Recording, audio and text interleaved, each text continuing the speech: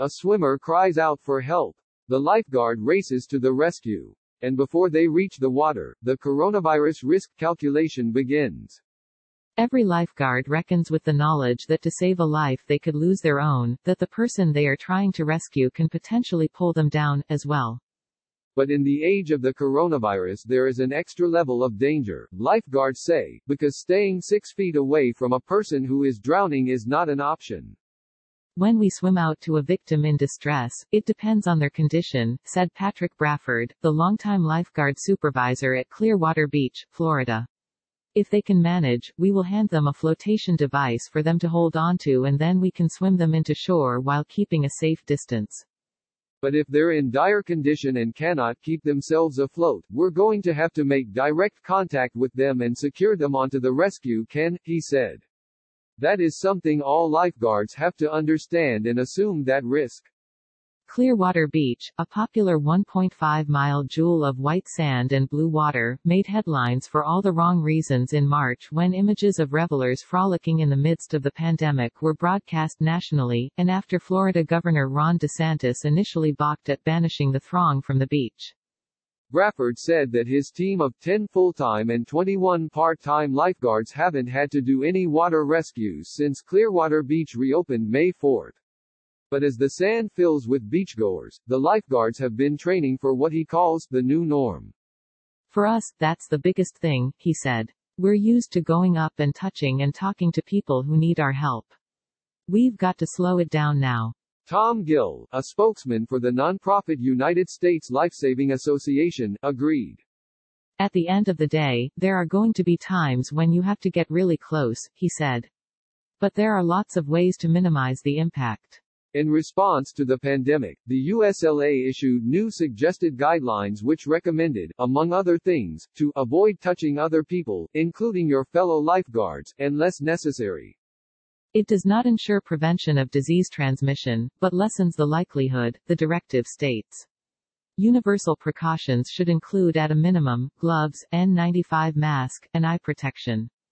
Gill said many of these common sense recommendations had been put into place before the pandemic when HIV and other communicable diseases were the main threats. Also, Americans who grew up watching Baywatch might be surprised to find out that lifeguards rarely have to rescue people from the water and that the biggest part of their job is preventing people from getting into trouble. The USLA reported that in 2018, beach attendance topped an estimated 340 million, which is more than the total U.S. population, and that lifeguards issued more than 8.1 million verbal warnings.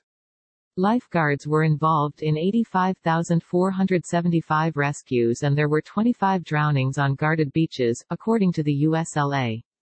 And those are just the USLA certified beaches, Gill said.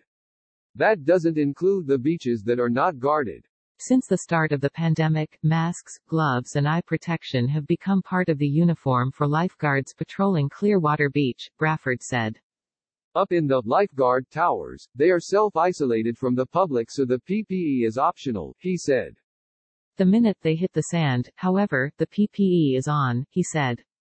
In an emergency, Brafford said, all patients are addressed from a six-foot bubble from which we will determine whether this is a life, or non-life threatening emergency. If there is an immediate emergency, lifeguards will wear gloves, N95 masks and eye protection, break the bubble and make contact with the patient, he said. But we still have to be disciplined. We have to slow things down a bit to protect ourselves and others. We don't want to risk the chance of exposure to our staff unless it is absolutely necessary. We concentrate on better incident management by being more efficient with the resources we have at our disposal while still giving the best possible care to the patient. But if the emergency means hitting the water, the mask is gone.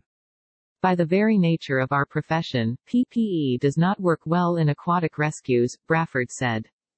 That said, the lifeguards in the water coordinate closely with fire rescue teams to make sure they are on the sand and ready to provide first aid once the stricken swimmer is brought to shore, he said. Lifeguards in the water will use hand signals to communicate with the team waiting on the beach. The Clearwater Police Department patrols the beach and enforces the social distancing rules, although the lifeguards are also expected to instruct beachgoers to stay six feet apart, Brafford added. When the beach was closed, lifeguards helped the police guard the entry points to keep people out. Since we've opened most people have been very cooperative, but there have been fewer than normal people out there, he said. Even before the pandemic, lifeguards were taking preventative steps against communicable diseases like not using mouth-to-mouth resuscitation and following American Heart Association guidelines, which put the emphasis on chest compressions. Now, rescuers use plastic barrier devices to safely blow air into a victim's lungs, Brafford said.